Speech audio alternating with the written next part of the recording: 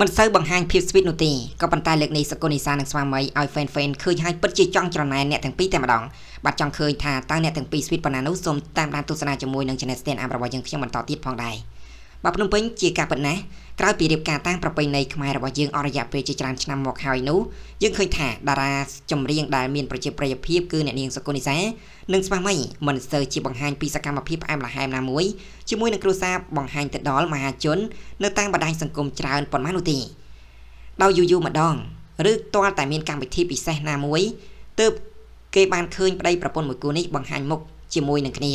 ប៉ុន្តែកាលពីមុននេះបន្តិចផងដែរតារាស្រីជើងចាស់រូបនេះទើបតែបានបង្ហាញនៅរូបថតរួមគ្នាជាមួយនឹងស្វាមីជាទីស្រឡាញ់របស់នាង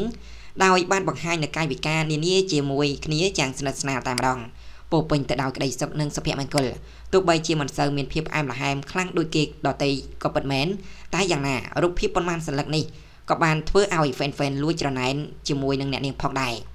យ៉ាងណាមិញទោះបីជាសកម្មភាពទាំងនេះអ្នកគ្រប់គ្រងកម្រនឹងបានឃើញតារាស្រីរូបនេះបង្ហាញជាសាធារណៈបែបនេះពិតមែនក៏ប៉ុន្តែនាមជា បាទនៅក្នុងនាមជាអ្នកគ្រប់គ្រងពិតជាមានក្តីសុខជំនួសអ្នកទាំងពីរយ៉ាងខ្លាំងណាស់ពេលដែលបានឃើញ idol របស់ខ្លួនរស់នៅដោយមានសុភមង្គលនៅក្នុងក្រុមគ្រួសារបែបនេះបាទយើងឃើញថាតារា